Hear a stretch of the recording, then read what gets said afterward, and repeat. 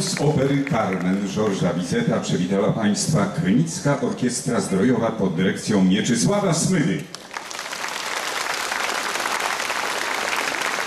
Ja również witam wszystkich Państwa bardzo, bardzo serdecznie i z największą przyjemnością zapraszam do wysłuchania, do obejrzenia również naszego koncertu, koncertu zatytułowanego Jan Kiepura i Marta Egert, wyśpiewana historia miłości. Jan Kiepura, proszę Państwa, napisano o nim całe tomy. To wielka legenda, ale to żywa legenda, o czym świadczy choćby ten festiwal. Zapraszamy na spotkanie z człowiekiem obdarzonym przepięknym głosem. Głosem, który zniewalał słuchaczy. Zapraszamy na spotkanie z człowiekiem o wielkim sercu i hojnej ręce. Zapraszamy na spotkanie z wielkim polskim patriotą. Nie przez przypadek ten budynek nazwał Patria, czyli Ojczyzna. A skoro znajdujemy się w tym historycznym miejscu, cofnijmy się do roku 1935.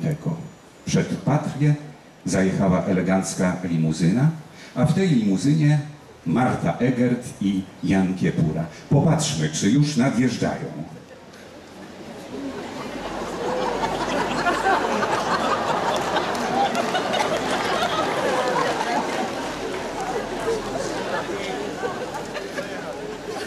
Patrzymy niecierpliwie, czy od strony Muszyny, o ile się nie mylę, nadjeżdża eleganckie auto, a w nim para, na którą wszyscy czekamy. I to czekamy niecierpliwie. Może wzbudźmy oklaski, proszę Państwa. Może to przyspieszy przyjazd Jana Kiepury i Marty Egert.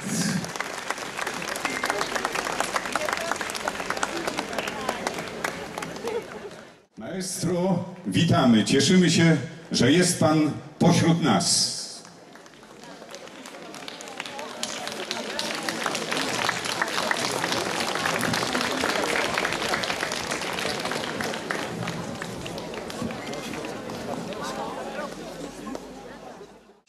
Publiczność krzyczy: Jasiu, śpiewaj!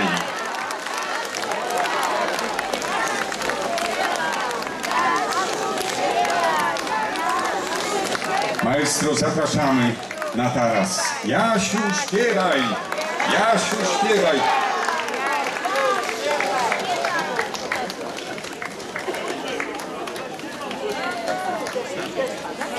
Pozwolą Państwo, że przywitam najpierw małżonkę. Madam, witam bardzo serdecznie.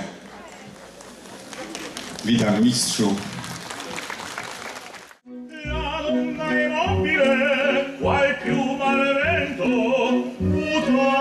vento ed il pensiero sempre un amabile e giadro riso impianto ogni riso e menzognero la donna immobile, qual più malevento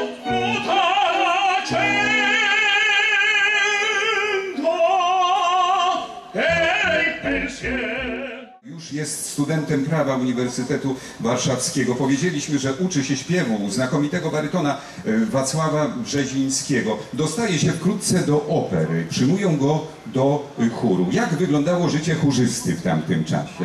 Myślę, że bardzo podobnie jak życie chórzysty e, obecnie. To znaczy przed południem dość wyczerpujące e, próby te muzyczne i sceniczne, e, potem chwila wytchnienia, pora na obiad, krótki odpoczynek, a po południu znowu trzeba przyjść do teatru, przebrać się w kostium, ucharakteryzować, poplotkować z kolegami, no i poflirtować z koleżankami. A pięknych koleżanek w teatrze Jan Kiepura co niemiara. I brunetki, i blondynki, i o innym kolorze włosów. Maestro, prosimy.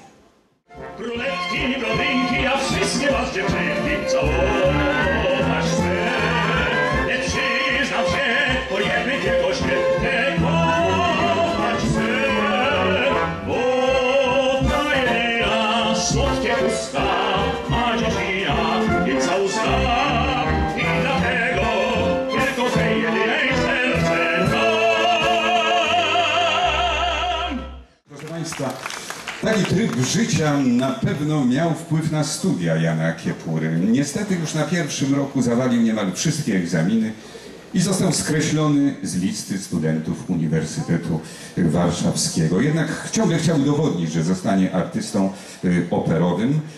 Nieszczęścia chodzą parami, jest takie powiedzenie. Proszę sobie wyobrazić, że już mu się wydawało, że chwycił Pana Boga za ogon. Emil Młynarski, dyrektor Opery Warszawskiej i dyrygent, powierzył młodemu Kiepurze, doceniając jego e, walory głosowe, maleńką partię górala w halce Stanisława Maniuszki. W trzecim akcie tej opery miał zaśpiewać solo krótką frazę po nieszporach przy niedzieli, kiedy ranne słonko gaśnie. Oczywiście tak zaczął się popisywać głosem i umiejętnościami nie tylko na próbie, ale również na spektaklu, że wyłożył nie tylko dyrygenta, ale i całą orkiestrę rytmicznie. Za to Emil Munarski wyrzucił Jana Kiepurę z opery warszawskiej. Przyjechał skruszony do domu, do Sosnowca, skontaktował się z jednym ze swoich przyjaciół, byłym tenorem Ignacym Warmutem, który napisał w imieniu Kiepury list y, polecający do kapelmistrza opery lwowskiej. Pojechał Kiepura do Lwowa, zadebiutował w 1925 roku na deskach tego teatru,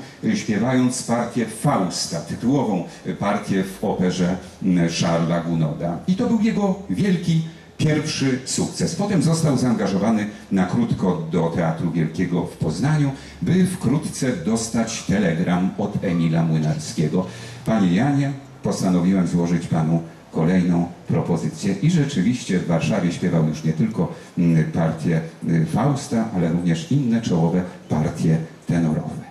Uśmiech twój ma niepojęty czar, wzniecił w sercu moim